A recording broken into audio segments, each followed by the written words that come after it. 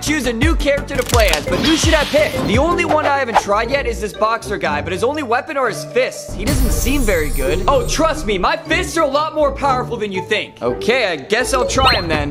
That's the enemy! Let's get him! This sucks. These enemies have actual guns. All I have are my stupid fists. I guess I have nothing left to lose, so let's use a special ability. Hold up, are those giant boxing gloves? What is that gonna do, kid? We can still shoot you. Whoa, he can deflect bullets with his gloves? That's pretty cool. Now let's attack back. He's actually a lot better than I thought. Like and subscribe if you would play as this character.